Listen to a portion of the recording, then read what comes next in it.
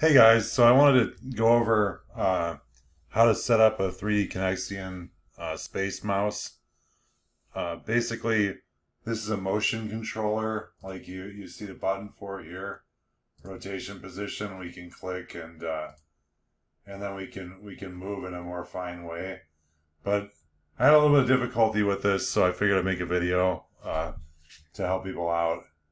Basically, when you go into configuration, if you go to uh, screen, you know, uh, open that, go to view. Uh, I set the middle mouse button to pan. Uh, I click this use free mode in dynamic rotation.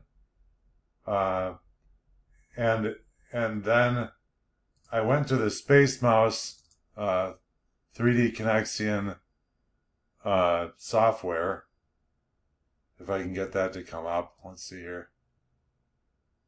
Uh, shoot, that's weird. So I'm having trouble getting it on this. Okay, there, it's on top of the screen. So here's three the, the Space Mouse Home for settings. And they have way too many axis of motion in this device. And I, I like the speed to be down here. There's a little bit of a weirdness with this Space Mouse software and that is there's no like save the settings. So you just have to hope that when you close it does that for you. Uh, but what i what i ended up uh, getting this down to was i dropped pan zoom and i dropped the twisting of the knob and i moved the uh, uh, i think sensitivity uh, slightly down. Close that I moved the speed down as well. Close that. And so how does this actually work functionally? When you click into the software, what you're able to do by tilting the uh, space mouse, uh, whatever you want to call this, joystick or knob, tilt it forward, it tilts the model in a, in a forward direction, pull back, it goes the opposite way uh, tilt left, it rolls in this in this motion here. Tilt right, it moves in that motion. Then I can click my center mouse wheel, pan the model. Uh, if I ever get like off the screen, I can right click, hit fit. I can zoom with my mouse wheel. And this way the uh, little knob on the 3D space mouse isn't picking up like twist when I'm tilting left or picking up twist when I tilt right or thinking I'm pushing the knob forward or backward. There's like 12 axis motion of this little knob. Uh, but that's really hard to execute a maneuver, in my opinion, without stepping on another uh, axis of motion and having it just kind of spin out of control. So basically, this is how I set the thing up. I don't know, your your mileage may vary, but I like this method because I can click my mouse wheel on my uh, Logitech 60, G602 mouse and I can drag, uh, you know, in a panning fashion, the model on the screen. Then I can grab the motion controller and I could uh, tilt it, tilt it left or tilt it right or forward or back. I also have a shift button on the 3D Connexion. It also has view buttons as well. So like I can go T, top view, and it'll spin me into a top view. I can go front, right, you know, so back to top.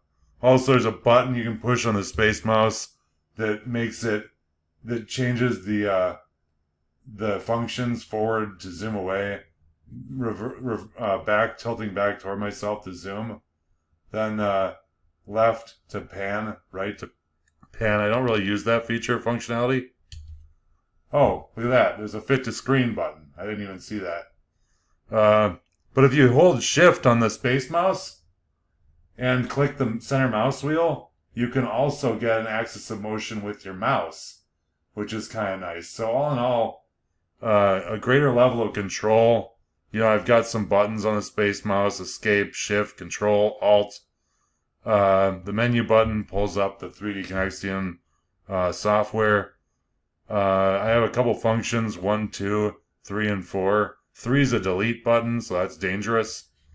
Uh, but but at any rate, this this gives you, in my in my opinion, a much better uh, control. I've still got it in backwards mode, so I, I had that. I think I had that button pressed. Let's see, fit. This is weird. I've got it stuck. Uh, fit. Okay, so I'm zooming away. It's like I've got it stuck in the uh, in the zooming mode, which is pretty dumb. And I don't know what the story is on that.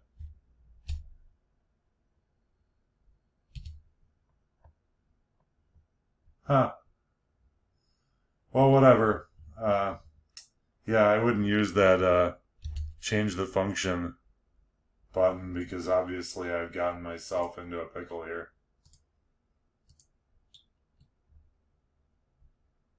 Where it's not it's not working properly.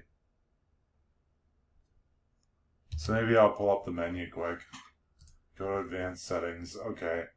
I don't know why. I guess when I push that button, it brought my pan back. This is where this can be frustrating. Uh, I'd like this to save these de these defaults. Uh, and I, I don't know why it, it doesn't save that information. Okay, so I'm back to... Anyway, I wouldn't recommend pushing the button in the middle of views. Or you might end up having to go into your menu. Uh, because like like I just showed you, uh, that reversing of the feature functionality by pressing the button in the middle of the views on the right side of the space mouse had me zooming where I wanted to tilt. Anyway, uh, that's that's pretty much. Uh, this was a little confusing. Took me maybe an hour and a half, a couple calls to Shopware to figure out what's going on with the uh, space mouse. Uh, but that's that's the best version of control I've gotten of views. So not not a bad product.